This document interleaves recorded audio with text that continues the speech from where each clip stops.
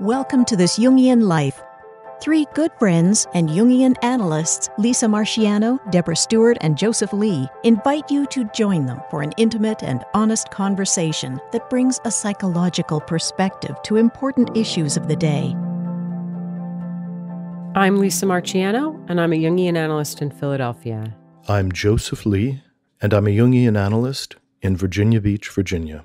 I'm Deborah Stewart, a Jungian analyst on Cape Cod.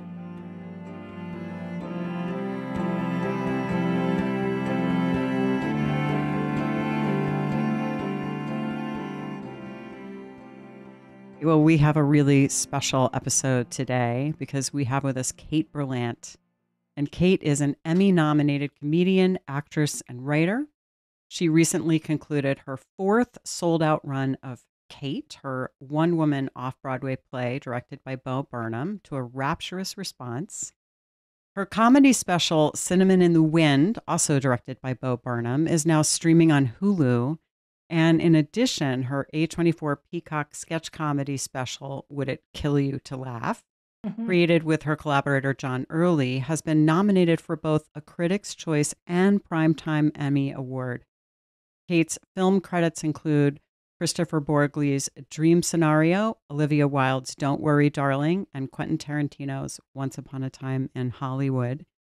And we have brought Kate on the show today to talk about Dream Scenario, which is a film that, of course, everyone in my world immediately told me I had to watch.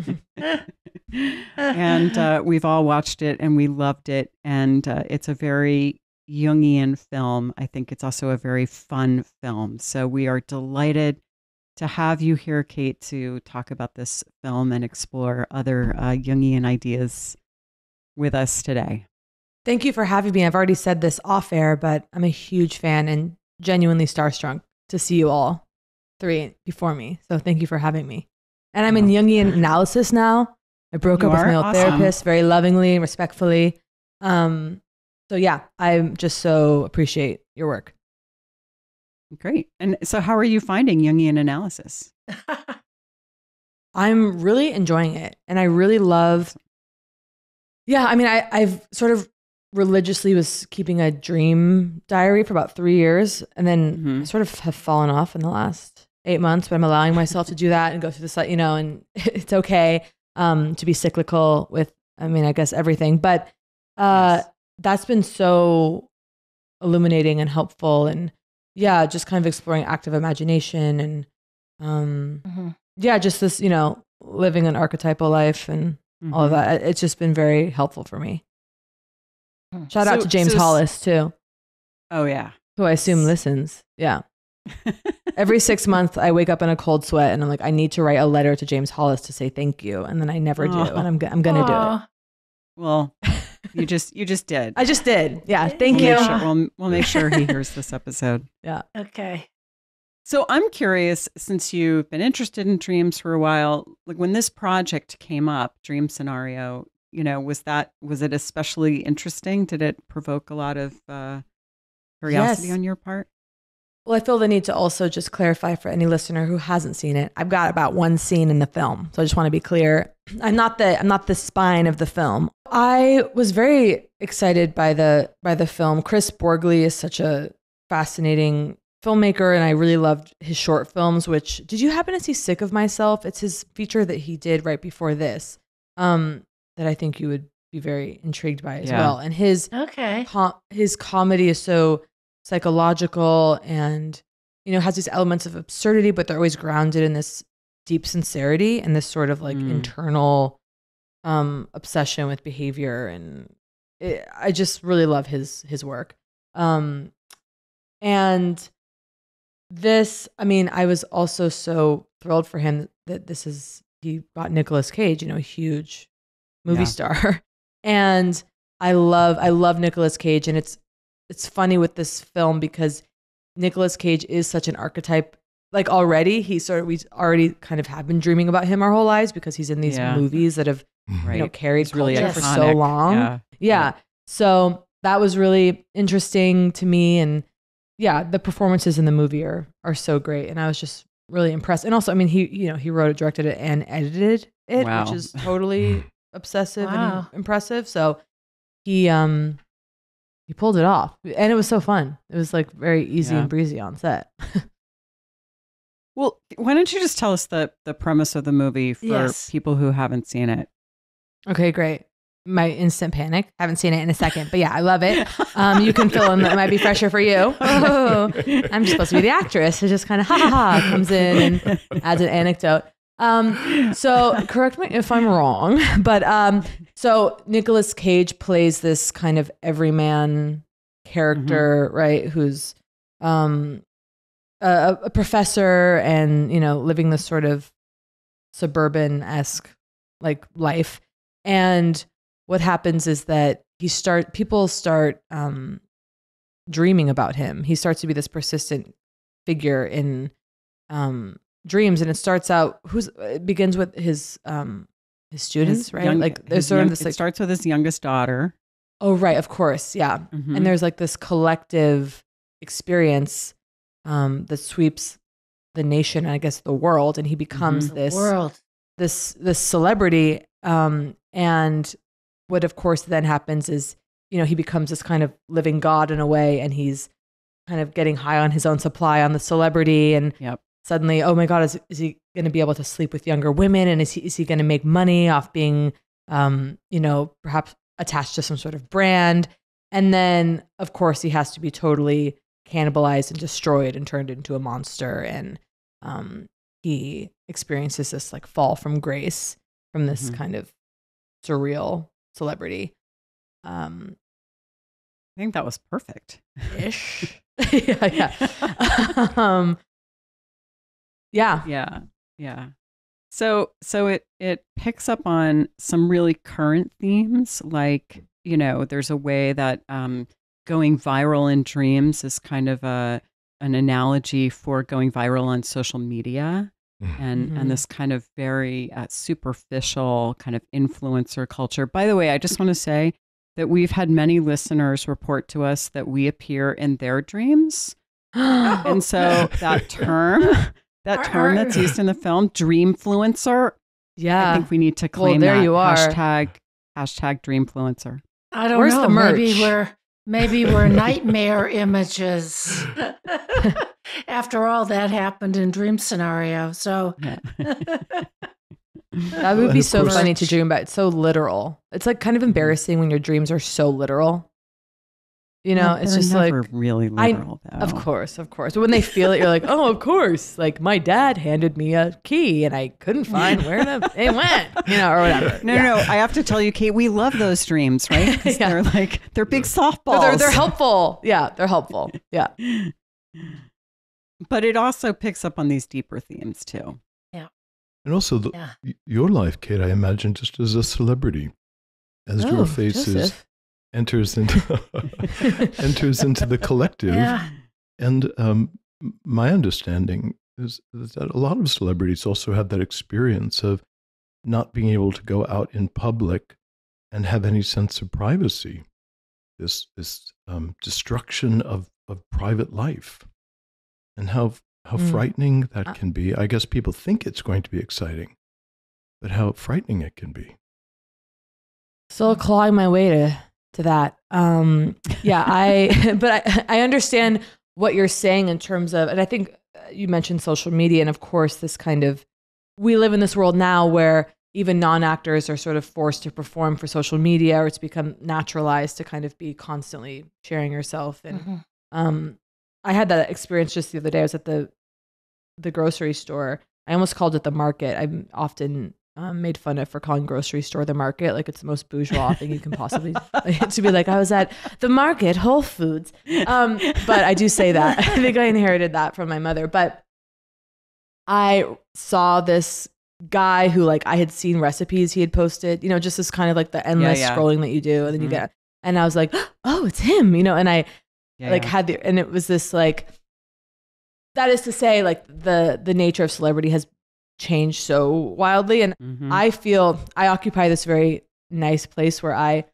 am not famous with a capital f but i'm but people usually when they know me it's because they like my work it's not because they hate me Mm, which i mm. think is um because to I, when I was a child, I used to sort of dream of fame and this like you you know you want to be like hugely famous, and now Yeah, yeah. truly it's a curse. It's like it takes so much more than it gives. I mean, it's just Yeah. like this real sort of nightmare. And so, uh, that being said, I'll you know try it. But um, I think that it's um, y- yeah. There's um the the now we're so the, the I guess sometimes you've yeah that feeling of like oh yeah you're being perceived or something is Mhm. or the the intimacy particularly with comedy or I'm sure you feel this with the podcast like even just hearing you guys it's like oh that sort of like this per this voice that's in your head that's sort of you know carrying you throughout your day it's intensely intimate and um Mhm. yeah but but I I mean I, I feel lucky I'm in the good zone like I said people don't aren't don't um know me because they hate me Yeah, no, that's a really or I interesting. feel like really famous people that's yeah yeah that that that if you're if if a certain level of fame just attracts almost sometimes people that just kind of want want to hate you or want to take you down or something. Oh, like yeah. that. and of course that happens in the movie where he his fame brings this unwanted attention. You know, there's a um, a, a psychiatrically ill person who breaks into his house in the middle of the night, and there's all these unintended consequences. Uh, but but he buys into the whole fame uh, opportunity there. He there's a way that he reminds me of Icarus, and he flies too high, and he gets Mm. burned. And I wondered about that in in the film of uh, his delight in his sudden uh, fame and uh, accolades and being the center of attention of and, and how and if you know there was an effect to that that then the images in people's dreams turned negative um, analogous to icarus's fall from the sky uh, so there is a whole through line about fame certainly and even like the one of the funniest things to me is his you know his desire to be invited to this very exclusive dinner like you know this Mhm. like this professor who and like and just Yeah. and and that is like so human and so familiar and then of course kind of like finally you get there and then it's like your presence actually is this huge causes this rupture and you're um and yeah the fear um i Uh-huh.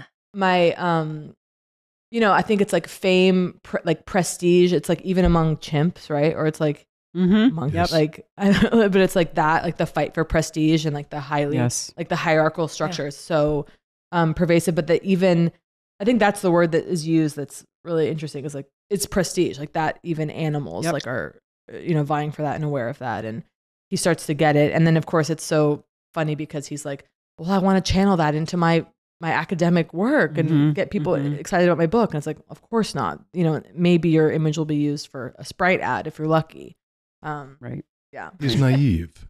I mean, he is really Yeah. kind of a, he is kind of a man child, Mm-hmm. and Yeah. in that way is kind of being uh, savaged by this world that he did not choose to be thrust into.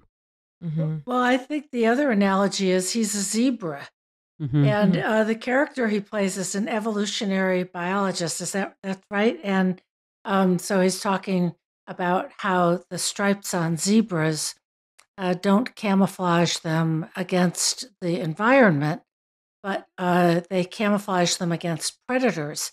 Because all a predator, all a lion will see is all these stripes and can't identify an individual zebra to pounce on.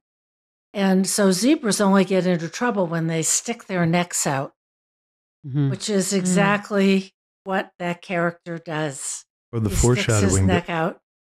foreshadowing that one of the students says, "Unless you want to mate." And then, Right, and then you kind of want to Yes, s- stick yes. out with your mating dance, Right, and then that foreshadows his hilarious Oh, unbelievably tragic attempt at mating dance, uh, which is just it's so, so, it's so hard to watch. to watch. I know. So painful. The iconic scene. Yeah. Yeah, mm, deliciously cringy. You know, um, so so some of the things I was thinking about, and this relates to the zebras, is there there are these two human needs. We both desperately need to feel like we fit in and belong, and we want that prestige. We want to Yeah. stand out. And I, I think the the film kind of looks at both of those desires, and and his name is Paul. And uh, you know, he he desperately wants to stand out. There's this thing about you know he has been conducting he conducted this he had these ideas in graduate school but he never really did anything with them and then this other uh, kind of colleague has gone ahead and done all this research and she's getting it published in nature and um and Yeah. you know one of the things is he wants to be famous without having done the work Yeah. he mm-hmm. he's had the ideas he says oh i have a book but he hasn't ever written anything so Right, he's like, I, so I it's, think my, it's like I read, I wrote it, right? Or he says something Right. like that, like, "Well, I had the idea, so it's essentially Right, published." right. Yeah, Right, right. So Yeah. so ah. there's there's the sense that, you know, hey, if you're going to stand out, you you'd better do the work. Cuz otherwise you're you're just standing out for something really kind of silly and fatuous and you can be savaged with it. That he wants evidence that he is creative and talented, Mhm. and he wants that evidence to be concrete in the world. But he is legitimately stolen from. In the last Yeah, scene where yes, she yeah. coins She a term that term. he had invented, Yeah. which was substantive and substantive enough to forward the, uh, the career of the competitor. Um, but because he had not laid claim to that in a way yes. That the evidence of his, of his intelligence could be linked to him, that then it becomes an object that can be taken by another Mhm. person. Mhm. So there's a danger in hiding because when we hide, there's a way in which the public does not know that we have ownership of our own creativity. Mhm. Or as Robert Bly said, your gold, showing your gold. Mm. So Nicolas Cage, who, who might have had some gold in his personality, fails to share his gold or to let anyone see his gold, which Mm. brings up that other question of who was he such that bringing his gold forward was either so shameful or so frightening. Mm-hmm. And I think, like a lot of us in the world, um, having anyone see our gold, psychological gold, and subjecting it to other people's opinions, other people's desires to monetize it or to change it in one way or another, can be very frightening. Mhm. And we can be extremely ambivalent about that. Well, also because when we show our gold, we have a kind of a responsibility to it that might really make demands on us. Mhm. I mean, you know, hypothetically, if Paul had shown his gold and tried to write about this, he might have he might have really had to harness his, you know, psychic energy in service to doing this research. Instead, you you get the feeling he's kind of coasted. You know, he hasn't really had to put a lot of effort in. He sort of probably you get the feeling he teaches the same class year after year. so so there's a way that he maybe was uh, reluctant to let his ideas make a demand on him, and he he just wanted the payoff. You know, he he just wanted the the quick connection that he was looking for from your character, Kate. Of you know, hey, you guys are going to set me up with a publisher, right? yeah, And- no, how about a. Sprite commercial? Yeah. yeah. I love that. So this was something I was truly kind of talking about last night. You're talking about like that gold, like the weight of that gold, also in the psyche, and which I know you've you've mentioned before on the on the show, but just when you fail to to do that for whatever reason, um, yeah, how distorting that can be to your to your life and how painful. And, and von Franz takes something forward, which is also in the uh, Gnostic Gospels from Nag Hammadi, that if we bring what is in us forward, hmm that there is a kind of blessing. But if we fail to bring what is inside of us forward, it becomes a poison.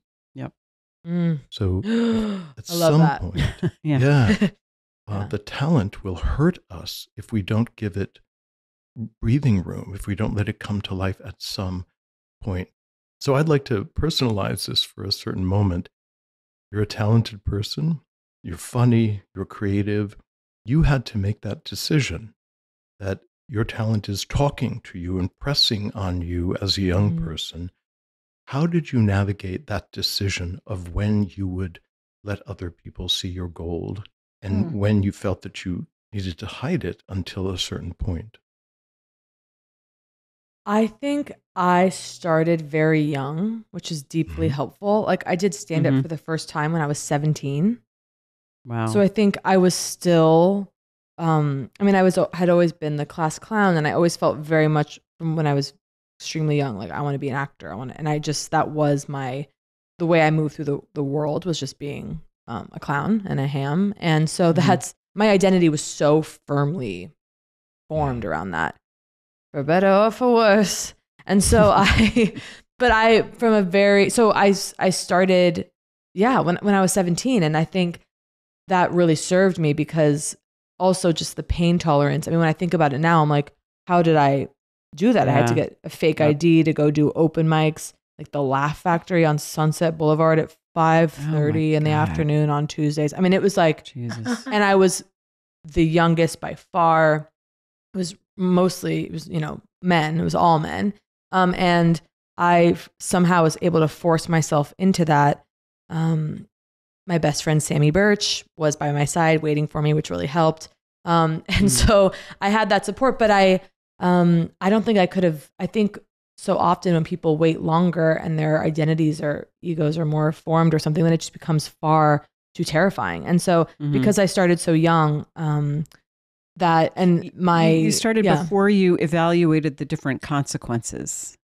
Right? Totally. You, you Yeah, just yeah. you were already leaping off the cliff, like the tarot card of the fool, kind of. Yeah. Absolutely. Yeah, you ha- you have Yeah. to be. And so I sort of did that almost like self hypnosis of just like this is what I'm going to do and this is I'm deciding that this is who I'm going to be and this is going to be what my what my life is about. And so I yeah, I just did it. I I, I just think that is what I did. I never really saw it turning out a different way So and it was very hard. And I have to, yeah. Yeah. Well, I was gonna say, I also, you know, my father's a visual artist, so we, like, I, I can't pretend. It's not like, well, my parents were locksmiths, and they told me, "Don't you dream of Hollywood, little girl." You know, it's like I grew up in a house in which, you know, my dad, well, you know, Hmm. this was made available to me. th- This idea of like, oh, you can be an artist, Wow. and you can, you know, so, but so yeah. we have a personality that's in the front of the house you know that's that's right there in the proscenium of the stage but then we have the personality that's you know in stage left behind the curtain so i'm Mhm. wondering if that other side of you the the other voice in you is coming out in other ways for instance perhaps in your writing or in other dimensions of your creative life that isn't the 17 year old girl who's you know the vaudevillian you know out there in the front Yeah. Yeah. I think, I mean, the, the show that I have been doing, um, which is called Kate, is sort of this all my work tends to, you know, it's this idea like you're doomed to make the same painting over and over again or like the same Mhm. movie over and over again. And, and so Yep. I. I kind of can't get away from like, oh yeah, I'm sort of always, my work is sort of always about performance or about the nature of the performing self or these sort of like liminal, liminoid, you know, like um like the self as that sort of creature in my own um, there's always this sort of like meta element that i can't get away from and this show because my stand up is also highly improvised this show was my attempt to which was it was a huge personal Mm. challenge like i'm actually going to try to write something and that was kind of this Right.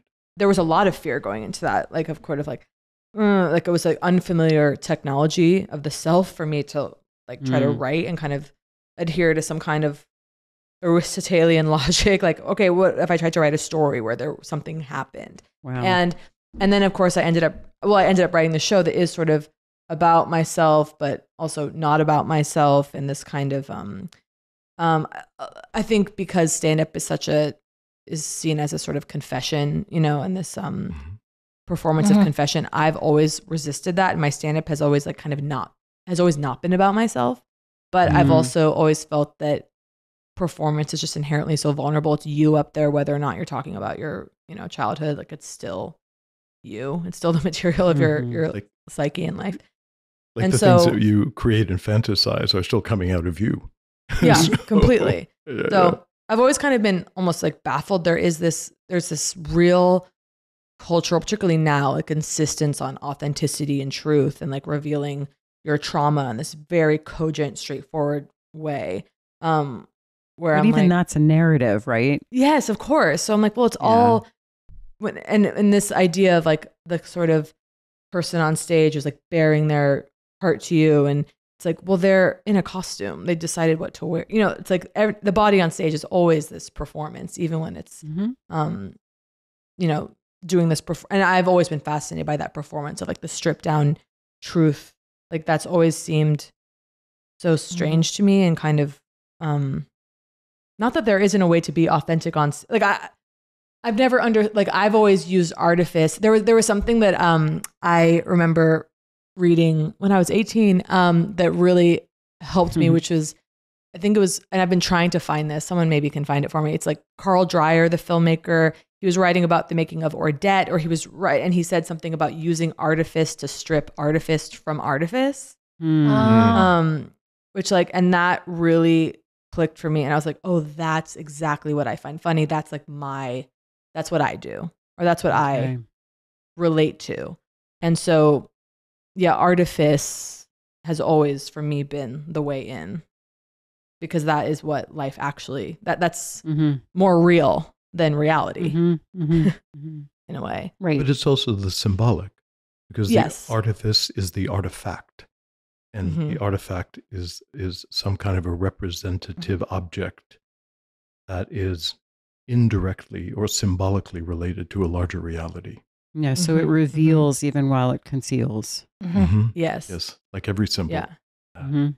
yeah So the performance is a symbol of something greater, even though Yeah. what is visible, the art, is just the, Also, like- the gate. and this kind of idea of like the mask like you know there's this idea of oh the performer wearing the mask and then the place where you see the skin of the ac- of the actor and then you're aware of that slippage and so that Mhm. kind of like slippage has always been to me what's interesting or just where i go Mhm. and like what i kind of Mhm. can't get away from Mhm. And why Um, people yeah. love when, uh, like Saturday Night Live, people are doing a skit and then somebody just laughs uncontrollably. Like the audience Yeah. just howls to see the slip. and even Yeah. Perhaps more fascinating when the laughter's fake Ah, the artifice of the artifice. Yeah, yeah. yeah yeah or when it's kind of like yeah yeah i mean it's Yeah. yeah there's a lot Mm. So swinging back to dream scenario. Okay, these yes, thank perhaps you. Parallel processes, which is why I had brought that up, is I Mhm. think that what's happening Yeah. there, what's happening in your life, perhaps what's happening in, in everyone's life, which has to do with public and private life, Mm-hmm. and and how um, we are so massively affected when the collective turns this enormous eye of Sauron, you know, onto us, and the voltage that that evokes in the individual's psyche, let alone the ramifications of how other people will treat us. And I was thinking about the idea of anonymity. So, uh, anonymity is to not have a name versus to Mhm. be nominative, which is when you have a name. And in ancient Egypt, in their mythology, to have the name of someone is to be able to command their soul. So Mm. when we can walk down the street and no one knows our name, there's a way in which our power still belongs to us. Yep. But as people found this man's name, his power and virtue began to leave him, and he changed and began to be under the control and the weird sway of other people. Somehow, if that's done um, carefully, something good can happen. Isis steals the name of the sun so that she can get the secret of resurrection to resurrect Osiris. But here, his name has been so stolen by some force, forced out of him that he does not understand and is totally indifferent to him and he is subject to, which also not only is part of that Egyptian piece, but leans into the idea of Job, where the gods are playing dice and you're on the table. So I'm just wondering about that. I'm wondering about how our name can be co opted and then we are controlled. And I wonder about the idea of how we orient to forces that are so much larger than us that we cannot control. Well, there's something here too, I think, about the way that the character, Nicolas Cage's character, becomes identified with people's projections of him. And of course, that can absolutely happen if we're famous too. You know, people pro- people project stuff on famous people, and you know, you you run you run a great risk when you become identified with what gets projected on you. So in in the very first opening scene, it, it- you know, what one of the other fun things about this film is that there's so many dreams that are um, depicted, which is always which is always great, and they do a wonderful job with it too. Someday I want us to do an episode on like our favorite TV and film dreams, but for another time. But anyway, the film opens with this dream of his youngest daughter in which she is in distress and he does nothing. He just keeps raking the leaves. yes. And that is a theme in the beginning that he he keeps on appearing in people's dreams and not doing anything. and he says to his daughter, "That's not how you see me, right? Remember the time that I you you were drowning and how fast I ran?" And and it, you know, it's sort of like you can hear the false note right from the beginning that he assumes that uh, that what is depicted in his daughter's dream is somehow representative of how she sees him or Mhm. even of who he actually is you know and and we always have to try to m- make sure that we keep that space between between how other people see us and what they project on us and who who we really are I'm thinking about projective identification, which, of course, the erotic scene is all about. Mhm. And in projective identification, not only do people project things on us, which can happen without any kind of relationship. Kate, people see your films and they see pictures of you and they have whatever they want to project, but, but because they're not talking to you, you may or may not have any awareness or effect on that. But if you're actually in a relationship with somebody, there's a way in which they want to push their projection into you and then really manhandle you to prove that they're right. Mhm. well and so that, that- happens several times in the film Ex- That's exactly what I was saying, and so wonderfully with that erotic scene. So this, um, and I really loved the way that actress did her work. yeah she was I, I, it was Dylan amazing Gelula, because she's great. Yeah. yes, Yeah. so you're in that scene, and that's the scene you're also in, Kate, where they're in the middle of this um, marketing, you know, blitz and this attempt to get him signed on, and so that's going on. But then this smoldering sexuality is happening in one of the people in the room, and the way she's looking at him and then inviting him over to the house and really, uh, really manipulating him. And she's like, no, no, no, no, no. You have to stand in the corner. You have to stand in the dark. Don't say any words because you've got to be the fantasy. And Yeah. and I- he, in this nebbishy way, he's like, uh, oh, okay, uh, okay. Um, but I think what's, what's I, I don't think he's terribly inflated. I think he's curious. Um, I think he looks frightened the whole time. He doesn't seem inflated at all.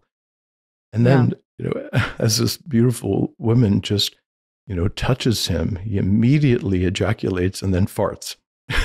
so, which is that marvelous, in a certain sense, self saving instinct in his psyche because he doesn't get inflated.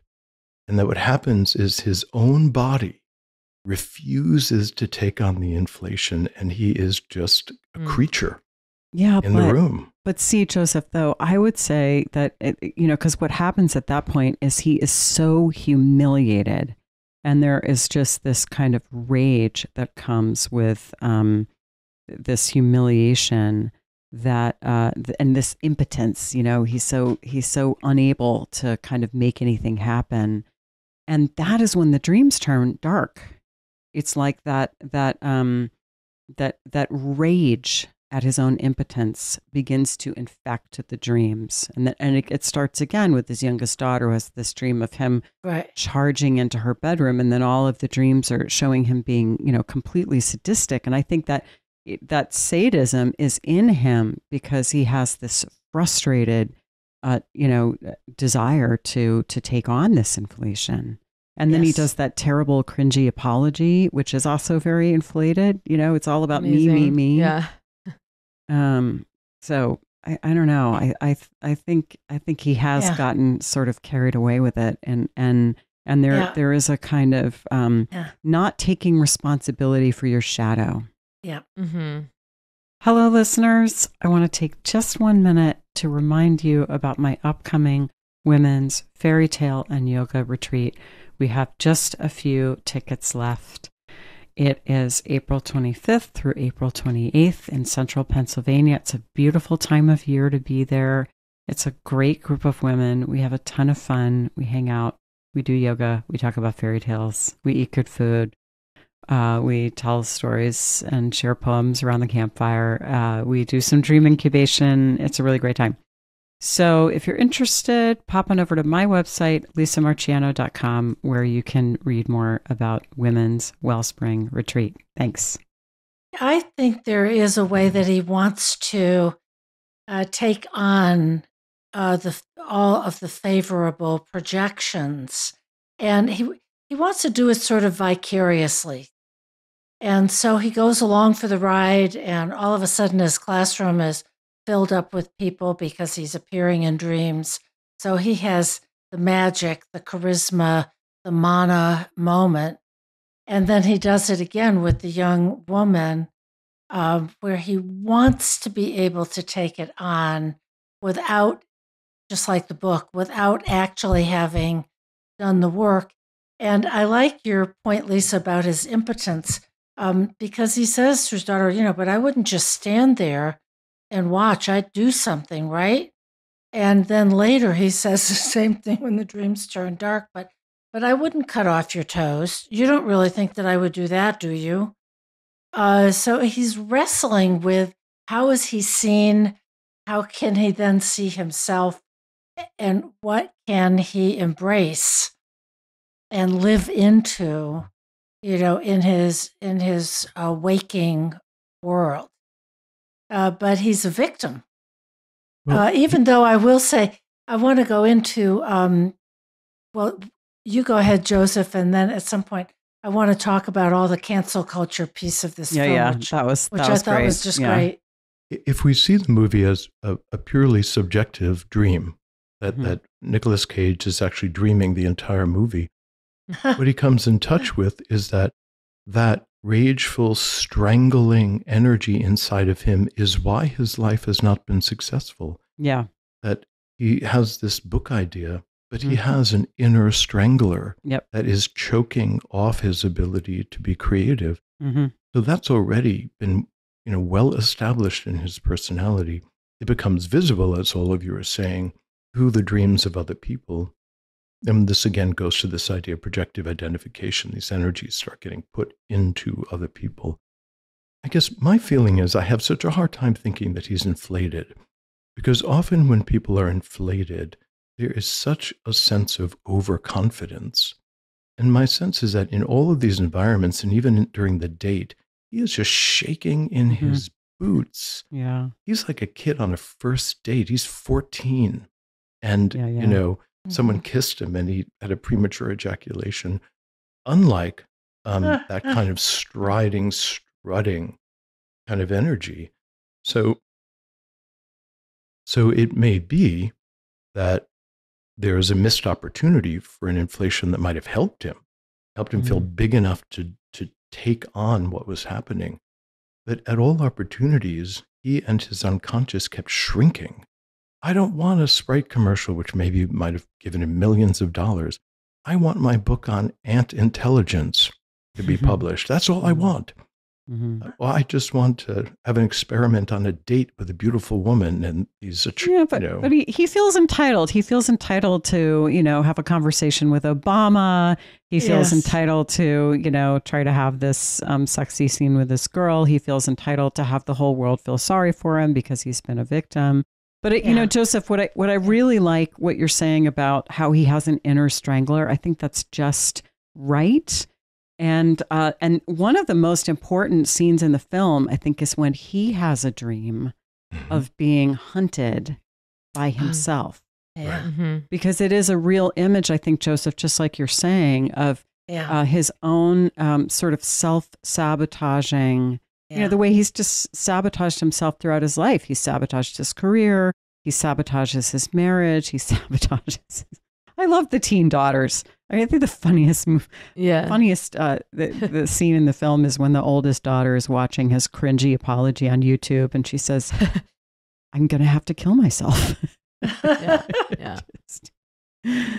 so so but he he um he he he does have that inner predator who who is very much uh going after himself. And i think that image of him with arrows sticking out of his body i kept asking myself is this an Actaeon moment? I thought no. But it is a little bit of a saint sebastian moment. Huh.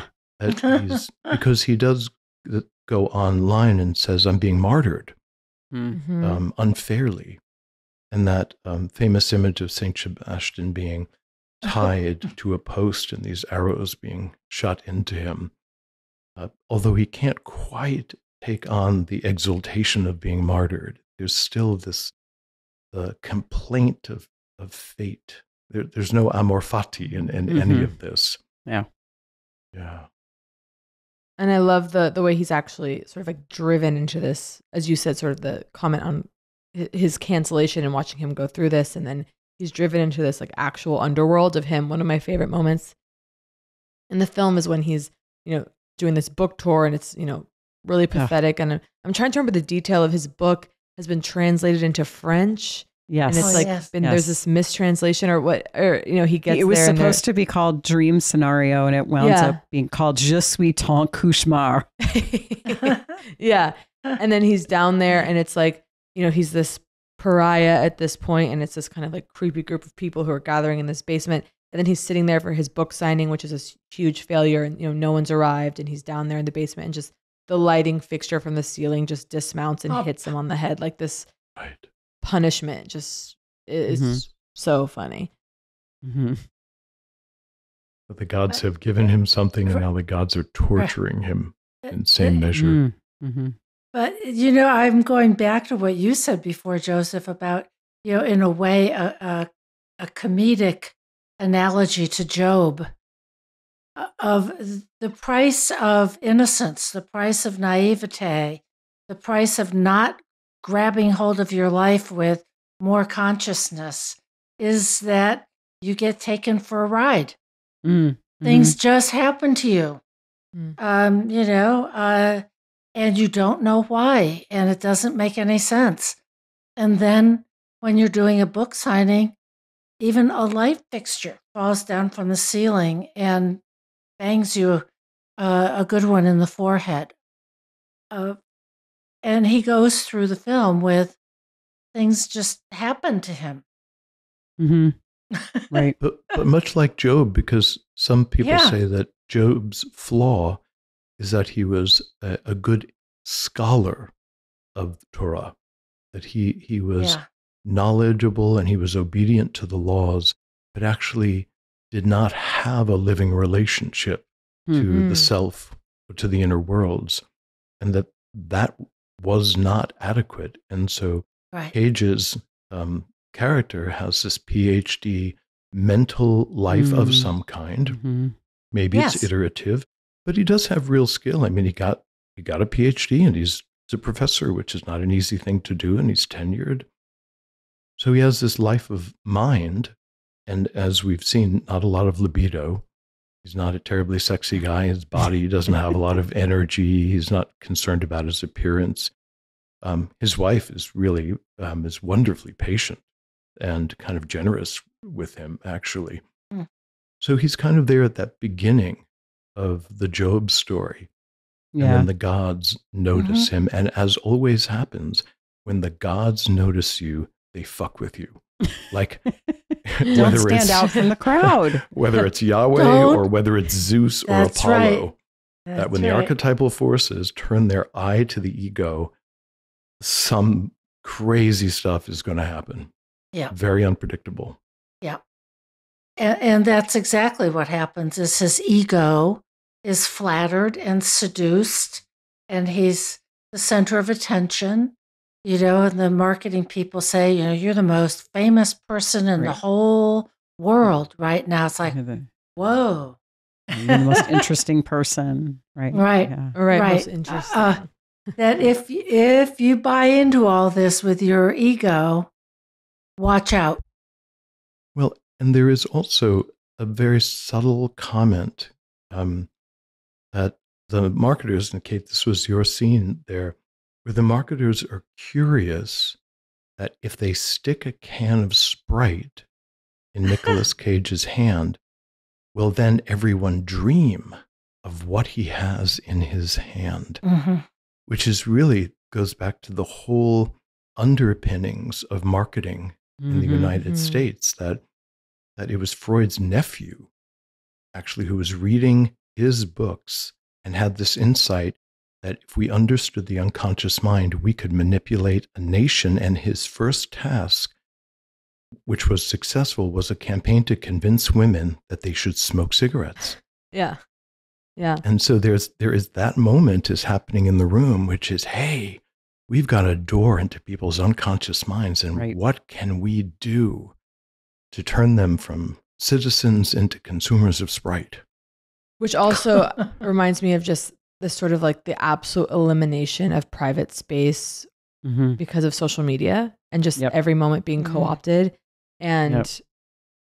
and and I mean, yeah, that's all. I'll just let that hang out there. How you know how terrifying. Well, but but yeah, is but that now. it's like it is Yeah. totally terrifying, and that's definitely I think one of the big themes that the film is exploring is yeah, like what what happens when they can just be inside your head at any moment, and in fact, you know, there's the the the uh, the Norio is created out of the the experience with, that Paul Matthews has, where they they create this device that will allow you to insert yourself, and then there's in, into other people's dreams, and then they can use it to you know, there's product placement in your dream. Yeah. So you're having a dream, and all of a sudden, you know, it's like, oh, there's this pair of sneakers, you know. So um, it it is uh, and and you, you know, I, th- I think you're absolutely right. There is this total collapse of sort of interiority in our culture. or that And it's think- nothing. It's not to be explored. It's just to be mined, or that Yeah. even your dreams. You shouldn't be re- like that. Rest shouldn't even or doesn't need to exist. Yeah. And I would say that that may be where the gods turn on him because he's Mhm. been granted this access to, to the collective unconscious. He's become a, a figure in the collective. And instead of being humble and being in a state of wonder that the gods have chosen him, he's seduced in this very satanic way. I mean, it's uh, it's that moment where Jesus is being tempted in the desert. It's like, you know, just bow down before me and whatever you want, buddy, I I'll give it to you. And it's in that temptation because that he falls. And I think he's not the one who mentions Obama. Doesn't someone, hey, does Yeah, somebody else in the room? I mentioned say, Obama. Yes. yeah. Well, it's just like spitting ideas, and oh, we could maybe we could get Obama to dream about you. Wouldn't that be cool? Right. So it, it- Yeah. it, may have been hubris that he took he took the serpent's apple. You know, I mean, you- you- all everyone in the room is tempting him Mm-hmm. with these yes. various yes. things, but it wasn't really his idea. He just, you know, he looked at Molly, your character, and and he bit the apple. Mhm. And so the seductive, the seductress um, invites him. Uh, Molly, Kate, says the apple of influencing heads Yeah. of state. And I thought that moment where the, the Mhm. chief executive in the room, Mike Cera, See- played by Mike Cera. Yeah. Yeah. Mike Cera, he's feels that he's he's lost. Um, Mhm. hmm he's lost um, the main character there, and then he turns his back. I thought that was such a really interesting cinematic moment. What, whatever he's is going on in his mind, and everyone else in the room is just waiting and waiting and waiting and waiting. So, Kate, from your perspective, what do you make of that transition in the Mhm. movie? That moment of him turning away and Turning away Yeah. and then coming back and trying to hook Mhm. uh, Nicolas Cage Yeah. in a different way, land Yeah. a different hook in his mouth.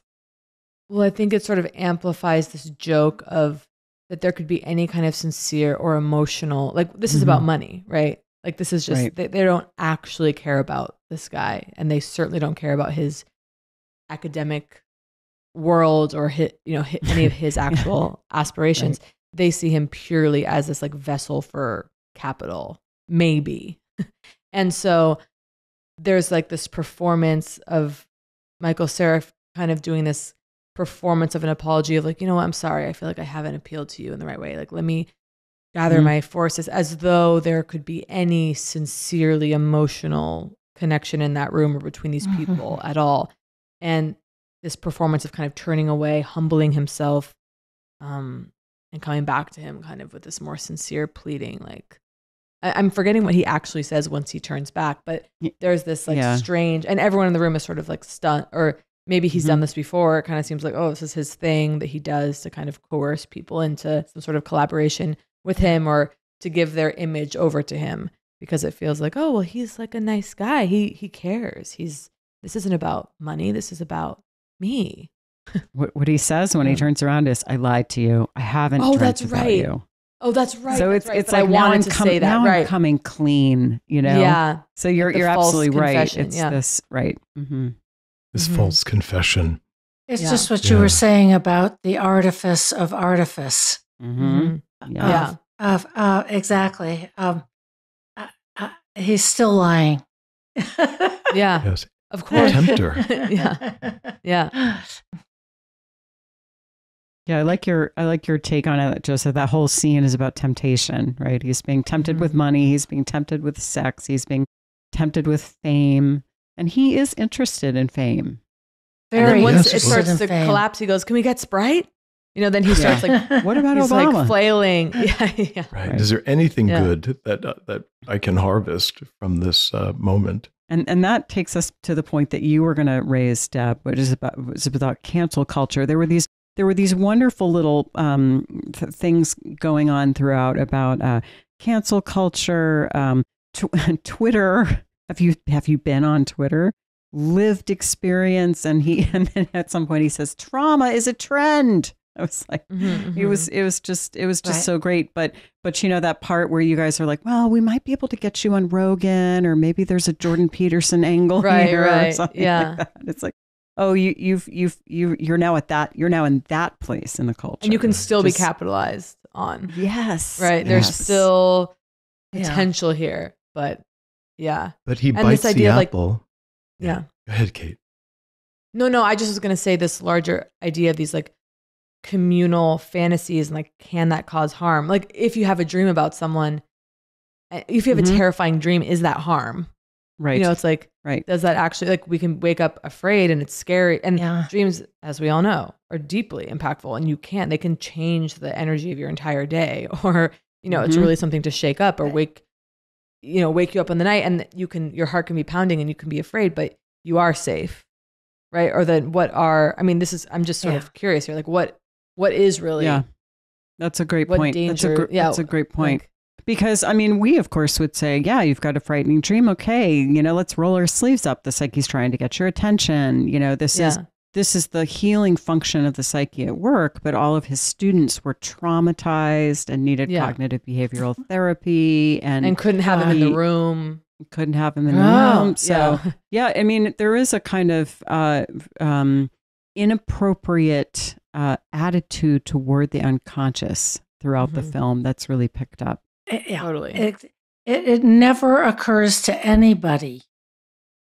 that this is my dream that features this person.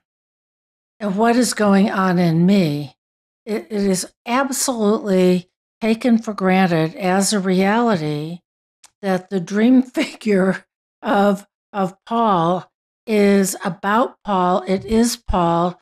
Somehow Paul has a special power and then it gets uh, you know the other people won't they won't let him see his daughter in the school play because to have him be in the audience would be so upsetting so it's such it, you're right it's just such a denial of of what internal life is like uh, versus uh, the external figure of paul who has some sort of mysterious power that he injects into people and he infects people with. uh, it never seems to occur to anybody to do a little introspection and go, what is going on with me Mhm. that I'm so upset by this? I ha- had a bad dream. And, uh, you know, I do think there's some uh, reality to it for all of us that when we have a really powerful dream uh, with somebody that we know in the dream, uh, uh, that we do tend to sort of think about like, oh, you know, um, I'm gonna I'm gonna call up that friend and say, oh my gosh, you know what? I dreamt about you last night, and the friend will inevitably say, what was I doing? Or how you can wake So- up next to your partner and be like, "You were so mean in my dream," you know, and you feel angry, and it's like, how could you do that? You know, and, and then and it feels I'm, I'm real. done with There's you. I'm not. I'm not Yeah. going to speak to you for a week. Yeah. Well, and, and the whole world becomes psychotic in that moment yes. because the definition of psychosis is that the ego and the unconscious barrier has collapsed. And whatever the unconscious sends up from the depths becomes real. Uh, I'm, I dreamt it, so it's real. Or I thought it, so it's real. I, I, my senses were tickled, and it must be real. So it is also a movie about this descent into a collective psychosis Mm-hmm. Mm-hmm. and how frightening that is. And in one sense, it may also be that Nicolas Cage is the only sane one in the room. we could say that when he is when he's lamenting into the YouTube, his wife accuses him of being narcissistic, but he's also being an individual because the people that he's talking to are psychotic, and he is the reality principle in that moment. I am I have not done these things to you. I am not invading your dream like an army, and I am being injured. He is the one that more than anyone who is being injured. Hmm So, I mean, yes, the, the wife looks at him and scorns him for not sympathizing with the people because she wants him to believe you have done things. But that's actually a lie. Well, I don't think she wants him to believe that he's done things. It's it's more that his. I mean, what she says is that his apology is self-serving because he's like, I'm. It's all about him, him, him, him, him, and she's been reluctant all along to have him capitalize on this. And she's been, like you said, Joseph, she's been kind of patient with him, but she also has not been a big fan of him capitalizing on it and trying to monetize it. And she's a little sick of him feeling all puffed up about it. And uh, yes. that kind of thing. So, Well, I think that the suggestion that he should apologize, who does that come from? I think it comes from her. Who says that apologizing is the way that it should go? Because that again, that's will you please join, join us in the psychosis, which mhm. is you are savaging the world. yeah, And the. And the only apolo- way you must admit that and confess to something that you didn't do. And I still, I still, I wish we had that film clip here. I think Cage has every right. Um, I don't think he's inflated. I think he's the Mm. only human being in, in the world at that moment who is distraught Mm. that he is being savaged by the gods. I don't know you. I have never done these things. I've never hurt you. Uh, Yeah. My life is being destroyed by this insane psychosis. Um, But I think what we see over and over again is, uh, again, your analogy, I think, to Job is right on, because that's what Job does is, what I do wrong?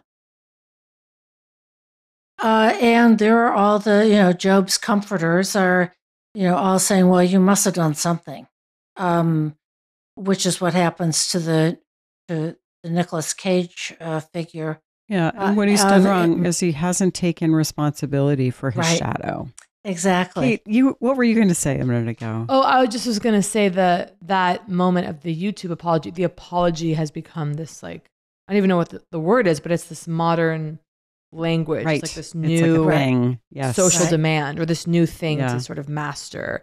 And so we're so used to uh, like, you know, people commit these sins or, you Yeah. know, or become these um, figures.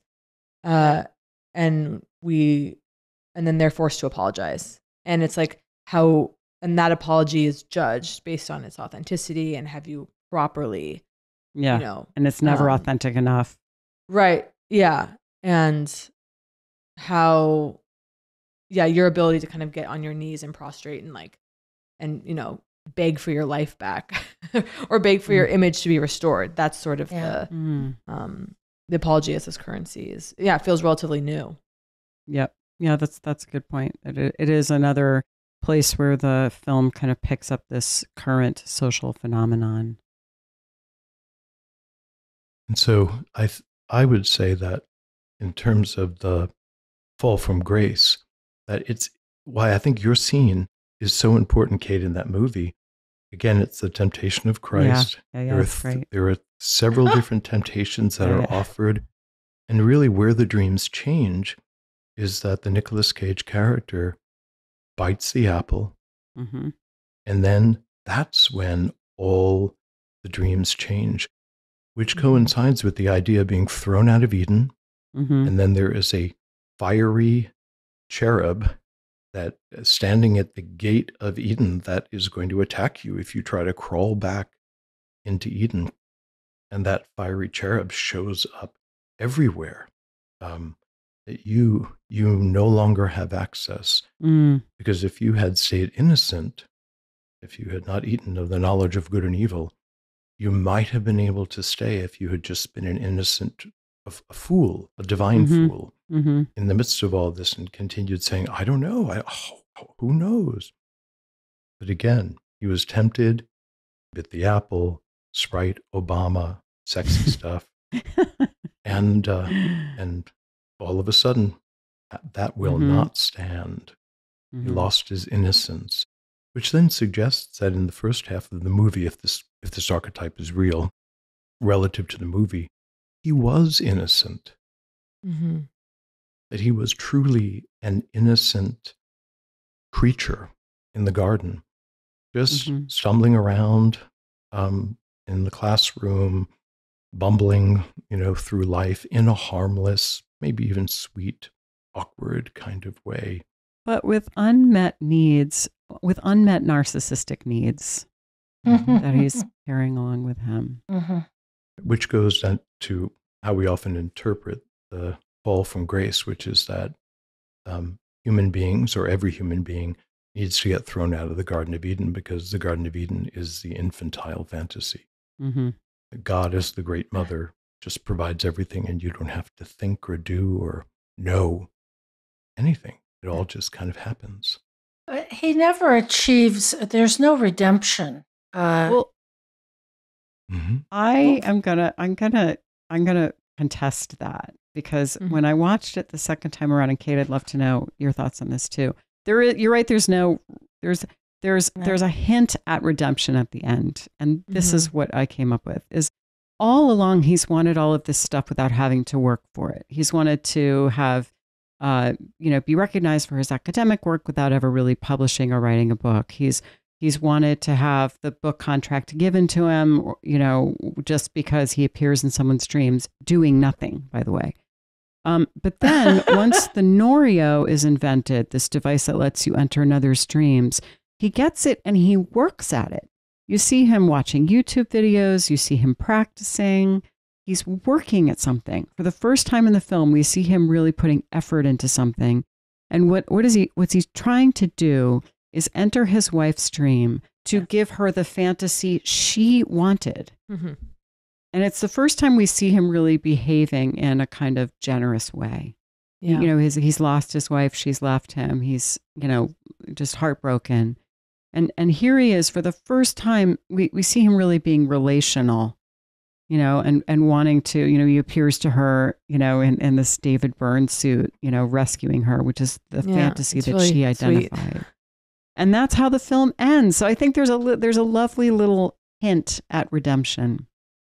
And what's that final um, line? I'm trying to remember. They they they reach out for each other, and he says, "I wish this were real." Is that what he's Right. right? That's it. yeah. Yeah. Yeah. Yeah, and yeah, I agree, Lisa. It's like that moment is when we see him trying to kind of concoct this fantasy to appease his wife and get her back and it's a loving It's loving. it's like a loving fantasy. Yeah. It's like the first time he's not really just thinking about himself, yeah. I think. Yeah. And yeah, his desire to kind of live out that fantasy for her, be that dream object, like the way he can't, you know, he can't become the sexual fantasy of this other woman and Mhm. maybe he can become this fantasy for his wife and Yeah. yeah. Yeah. Uh, I, I think your point is really well taken. And, uh, you know, who knows? You know, we can tune in next year and Mhm. see if Right, he manages see if it worked. see, see- see if he manages to translate it into the waking world. right. Uh, that's it's a nice a nice hope. Mhm. Um, There's you hope know- for redemption, but we don't know if it gets there. you know, and it's still in the dream world of uh, you know, not not in the lived world. Um, so the rede- the redemption may be out there somewhere. So, Kate, did did you have interesting dreams while you worked on this film? Ah, um, I'd have to consult my dream journal, but um, which of course you keep. Yeah, which I keep in Google Drive. Feel free to hack me. Um, yeah, I no, not that I, not that I, not that I remember. Um, yeah, I'm trying to think. I'm trying to remember if I've had any dreams with celebrity figures Mhm. lately. How about us? I hate to say it, you haven't been in my in my dreams, but I don't even dream about myself. I haven't even appeared in my goddamn dreams. Um, uh, People Yeah. have a lot of celebrity dreams. That's such a common thing, and it's always so fun. I'm trying to think if I had any lately. Um. Uh oh, I got nothing. Um, yeah. I'm trying to. Yeah. Well, I remember when you when Jung went to India, he thought he was going to have all kinds of, you know, really spectacular, interesting, different dreams, and he dreamt of the most quotidian things back in Mhm. Switzerland. So, uh, yeah, uh, but uh, they may be coming. I know it's funny when dreams sort of stop. Like I was having, I typically have very vivid dreams, and they're Mm. they feel like really intricate and they're long, and a lot happens. And then there was a period where I just stopped, and I and I sort of was like, oh, but but my interpretation was like. It's because I'm integrated. You know, I was like, I'm like, I'm living in an integrated way right now. You know, and I do think it it felt very deliberate, like my dreams were being Mhm. held back by something. It was like, okay, Mhm. enough of this because I had been so kind of obsessively um, thinking about my dreams and writing about them and really finding them to be very like fertile. But yeah. um, yeah, they felt like they were being like almost intentionally like, stop. Now you just are going to live a little bit. Yeah. Do you, yeah. And do you, I mean, do you find Mm-hmm. that there's a kind of ebb and flow between your creative work and your dreams? Because sometimes I think that if we're really outputting a lot creatively, it's almost like, well, that's where all that psychic energy goes to. Totally. Maybe, yeah. I definitely have the sort of classic.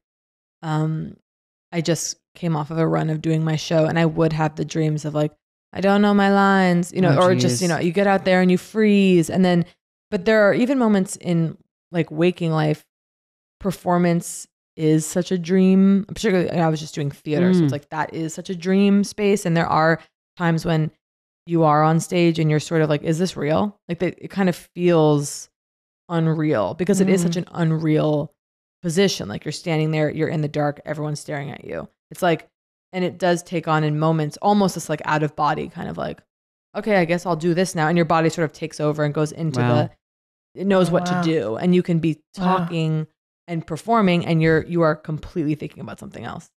Or you're like, Ah.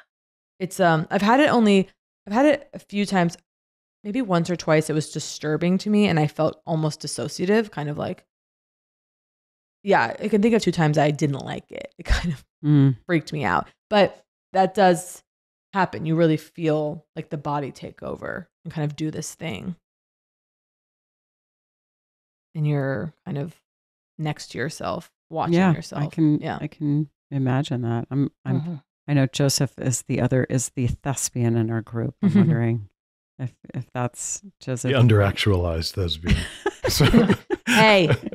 but, yeah. But, but you were talking about, and the film talks about, you know, how uh, we have all kinds of parts to us.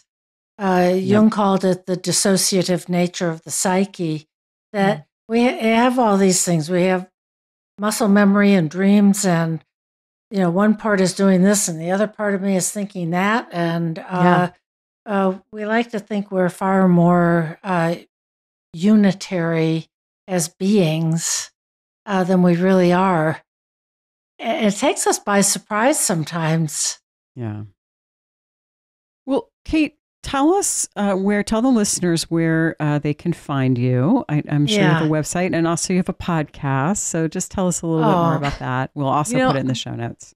I did start a podcast in COVID, as, as some of us did, um, with one of my best friends, Jacqueline Novak, who has an amazing Netflix special you should watch called Get on Your Knees that you would all love. Okay. Oh, Um, It's Okay. like highly essayistic, brilliant. Like Mm. she's Okay. in- truly a genius. Um, and we started a podcast called Poog, which is Goop backwards, which kind of came out of our um, interest and obsession with wellness and but kind of also this idea of this search for um you know kind it's sort of there are a few things at work here but i think sort of like the the the attachment to products makeup beauty this kind of endless search and this sort of Oh, almost this idea of like preparing to never arrive like you're never going to find the face cream that changes your life and you're never going to and but but oh. isn't it kind of fun to think that search is actually That's great. we, we sort That's of like great. to lift up that search as being because it's often trivial, trivialized it's a sort of like feminine obsession with like yeah. you know and it's like no like this is actually profound this is what if we actually re- approach this as a more um, cerebral act and this um, kind of existential obsession and Yeah. It's a quest. yeah, yeah, it's definitely a, a quest, Mhm. and um, yeah, and it's very it's it's a deeply raw kind of essentially unedited. Not to disparage our editor, but um, it's a very it's truly just a conversation between us, That's and great. and um, sometimes it goes to places that um, I think are kind of profound, and sometimes it kind of dwells in this like we're just kind of can't stop talking about kelp noodles or something, you know, and these sorts of like fascinations and um, how they lodge.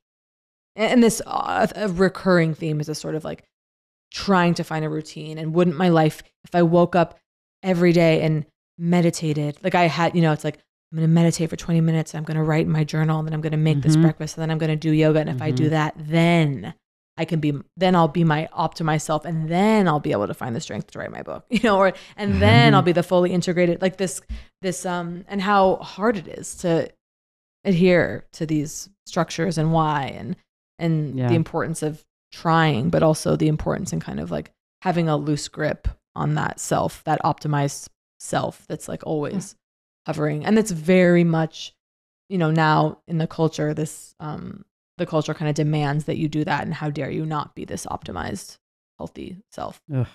I appreciate that about you about your conversations is because it's that war between the ego and the unconscious, but how that's resolved, and I, I've seen this in some of your episodes, that you are looking for the telos, that even Mhm. looking for the, the special tea or the product that I can use, that there's meaning in this somehow, that it is not meaningless. totally yeah it is ultimately the search for god and um, Through face creams. i mean truly yeah Well, Yeah. And- really. yeah yeah It's awesome. which is why archetypally, you know, millions of people will will move towards a particular product because there is a there is a, a transcendental or archetypal promise hmm that is connected to when- and you guys are talking about that. especially when it's attached to a person right this beautiful woman uses this you know and and so i'm going to use that and then i'm going to essentially ingest her and become her i mean it's so real and i Mhm, mhm. still you know am like searching for these products whose ideas are like what what does this one person do what's their routine that i could you know, co-opt and then transform and become this whole other self.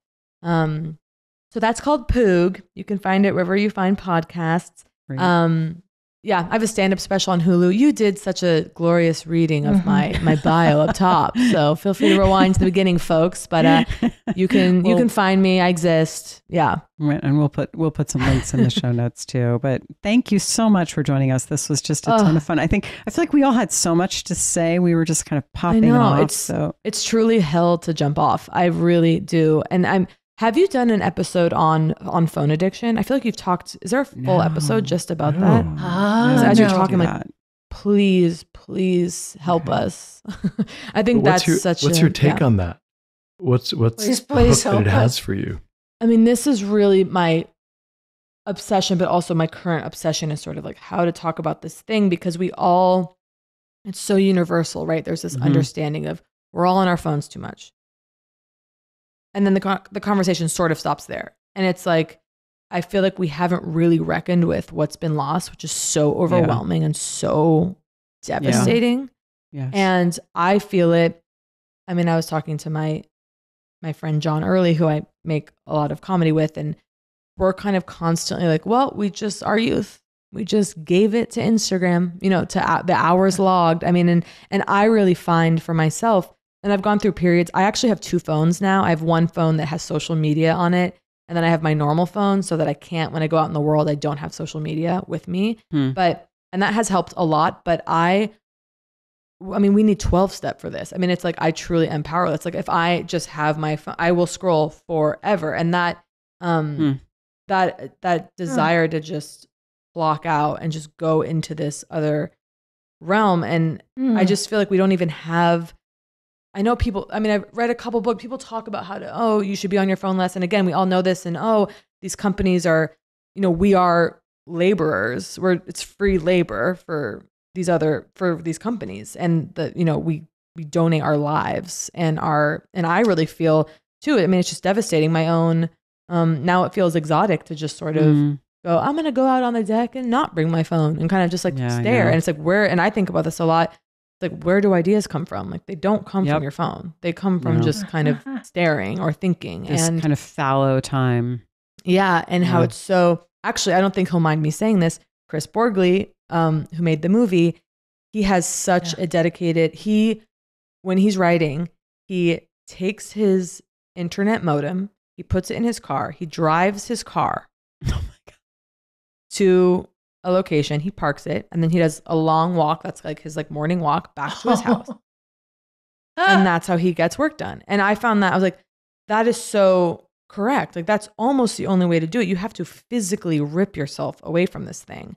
And I've gone through periods. I do like oh, a month here, a month there. Where I go, I'm not going to look at social media. And the strange thing is, you don't miss it, which is almost the most disturbing element. I find maybe a couple times you're like, oh, I Hmm. kind of want, and you're like, no, like you just don't need it. And somehow when you're in the system, it is. Um, I forgot who Yeah. said. I like read like someone said this where it was like if you spend um a day off Instagram, you miss everything. If you spend a year off Instagram, you miss nothing. Oh yeah. And it's like yeah. that is kind of what it feels like. And so I think they're, you know, yeah, it's sort of the conversation that no one's really having because I think it's also just so disturbing when you really reckon with what's what we've lost and what we're losing. Yeah. Well, And what's the draw on that deep unconscious level? And what is the archetype that is so powerful that it can grab a world Mhm. and command Yeah, their attention? What else, like, when you think about, like, well, what would you give your life to? What would you give your waking Mhm. hours to? And we would think it would be to our loved ones or, you know, to deepen our relationship with our, ourselves or our work. And it's like, no, we just sort of give it over every day to this thing. And yeah, we can't rip ourselves out of it. And, um, and even people I, who I know who I've always admired for their work ethic and their ability to focus, they're like, oh, I can't watch a movie anymore without looking at this, or I can't Mhm. read. I Mhm. mean, for myself, I'm Ah. like, I think about, yeah, the way I used to be able to, and even, and it did sometimes hurt. It was hard. Like, it is hard to read a challenging text and to really sit there and Yep. grapple with it. And that's, and we're losing that Yeah. ability to do that. I'm likening it to the Nicolas Cage character in the movie. We're easily seduced. Mm-hmm. Uh, Yeah, I we guess- get Yeah. we're very easily seduced to um, something that has immediate gratification. Mm-hmm. Uh, we get a little, we get all the little dopamine hits or whatever from uh, social media and screens and video games, and and and and Nicolas Cage got uh, the same kind of thing from his unearned, sudden, unexpected fame. Mm-hmm.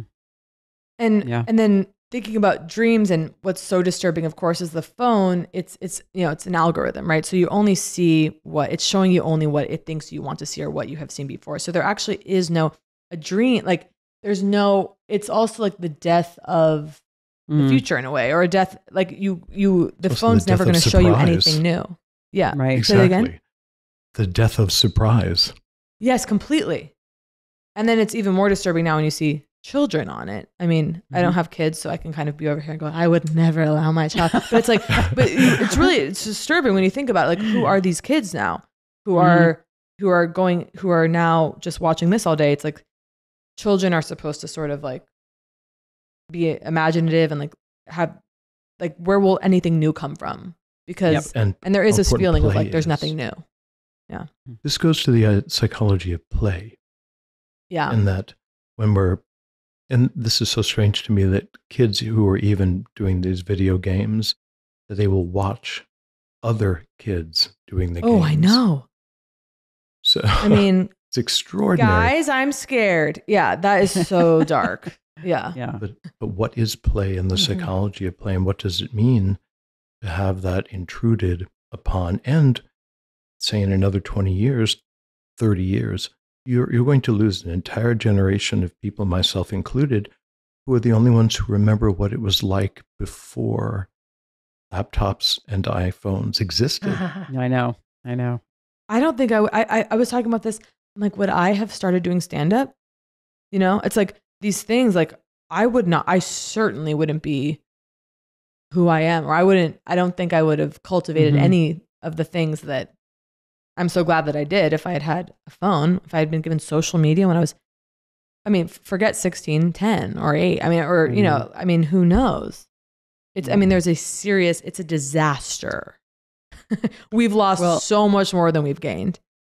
I, I, I think you're, It's a you're right topic. about that. Yes, Yeah. we Yeah. promise that we will Yes. put that on our list. I need that from You you, and I need the performer episode. And okay, and we'll do it. Yeah. Uh, yeah, uh, an episode on the psychology of performers. Oh, that would be great. yeah. That would be great. we'll, I'll we, listen we owe you that. oh, I need that. That's an emergency. Yeah, great. Okay. Maybe we can have you back on when we do the episode on the performer. That would be Anytime. wonderful. I would that- to have Thank you three. you. I'll, I'll I'll tell you anything. Yeah. You can invite us on Poog. Oh. We'll talk about our favorite facial You'll be the- products. you'll be the first who guest. I know, truly. Yeah. Uh, well, All right, I'm thank you I'm so so, much, happy to thank you for having me. It's so such a pleasure to meet you. And yeah, whenever you want, I'm back. I'm back. okay, great.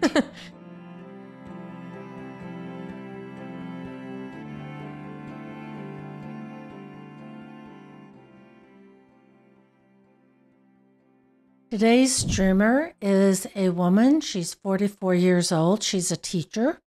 And she entitled her dream, In Another Time. And here's the dream I'm a passenger in a moving car. The driver notices that we are going through a bad area and begins to close the car windows with a second layer of window, a dark sort of armor that comes standard in these future cars. She is closing the windows when I realize it was too late to close mine.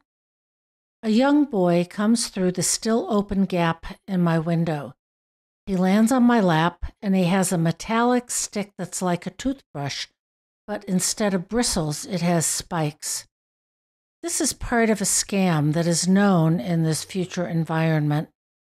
These bristles will be used to poke me, to infect me with something horrible. If I am so scared that I open the door to eject this child, there are people waiting outside to attack our vehicle and to hurt us all in ways that could be even worse. Even in the dream, I begin to ponder what infection, in my past led me to this sad life where I'm about to be infected. The past and future are jumbled. If I had made better choices, could I have had a better life? Could I have been a better person? I see all of my missed opportunities, and it's as if I accept that my life was already infected before I face whatever infection will come of these bristles. But I won't open the car door. So, for context, the dreamer says, I've been reflecting a lot on my life lately, which I do in the dream as well. And she says the main feelings in the dream were this felt scary, and I was sort of bracing myself to accept all of that within the dream. And she adds, I'm not in a recognizable time or place, and I recognize no person in the dream. Okay. So, what do we make of this complex dream? Mm-hmm. Well, uh, one of the things that came up for me when I was sitting with it um, was that there is an image of psychological defense in this dream. So there are these armor windows that come up when you're in a bad area. So it's the way that we shield ourselves from we you know we have defenses against things you know in the outer world we can shield ourselves against attack or shield ourselves against you know bad opinions of ourselves or become defensive with another person but defenses also work in the inner world so we might defend against uh, for example new information that the unconscious wants to bring to our attention that might upset our ego's equilibrium and I, I think of these windows as being an example of that and then there's a young boy that comes through the, the window and i can't help but imagining that that's a positive thing. You know, children in dreams are usually positive. They usually carry this sense of of mm-hmm. new life that's developing, and uh, and it, and I think it's positive that the dreamer is not going to eject the child and is willing to take whatever's going to come from this encounter.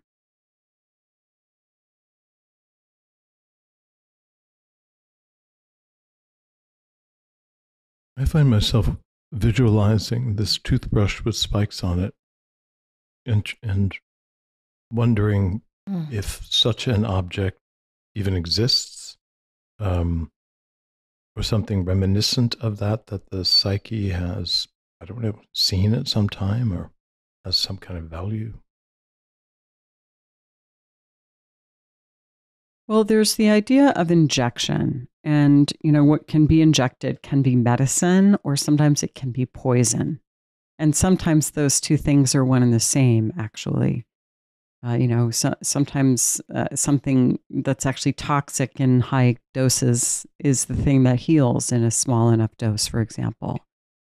And and so an injection, you know, is also what a snake does when it bites us or a spider.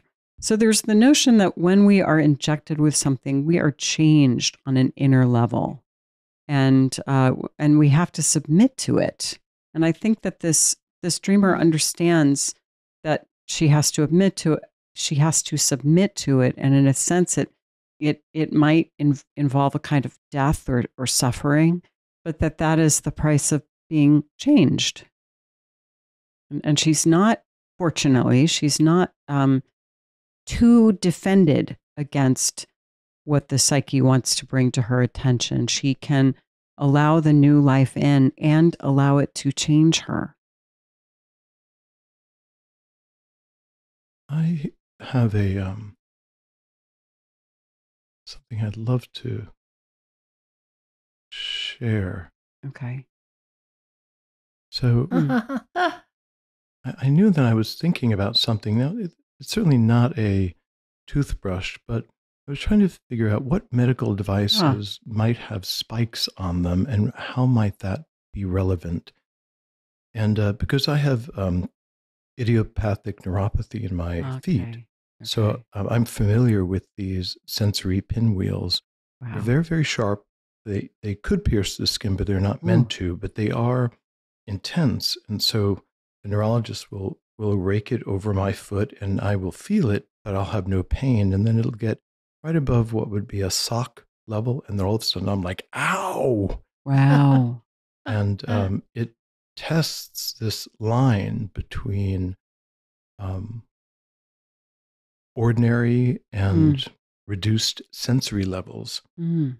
And if it was misused, of course, it really could really jab that into someone. But so I had this fantasy that um, while she would imagine the spikes could only be used to break her skin, there may be other reasons. And one of the things is are you sensitive enough?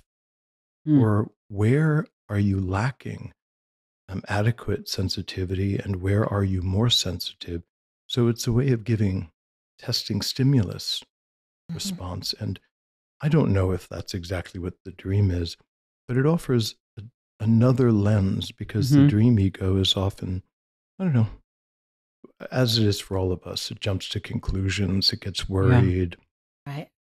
But um, she's there wanting to put armor around, which means I am not going to feel anything. Hmm. And then this little sprite, so to speak, comes Uh-huh. in with a little Mhm. neurologic pinwheel saying, ah, well, let's test how sensitive you are in various Yeah. places in your body Yeah. where your armor hasn't had a chance to lock you in. Uh, That's that's really interesting. Yeah. And I think our dream ego gets it at the end in uh in a way um where she says, you know, she's kind of doing a little life review if I'd made better choices, you know, would I have had a better life? Would I have been a better person? I see all my missed opportunities and it's as if I accept that my life was already infected presumably by her missed opportunities and poor choices. Before I face whatever infection will come of these bristles, and I won't open the car door. So there's there the dream ego is aware of the telos of the dream, of where is this going? hmm And in the dream, she talks about past and future, and this is a future car, and so on. So there's something in the dream that is aware that this is going somewhere. There is something purposeful about it. And what if she was already infected? Mm. Uh, and the difference between uh, you know something curative and a poison is often in the dosage. S- snake venom is used medicinally when it's diluted. I- I would also love to read the dream again, but just replace the word infect with affect. Try it. Go go for it.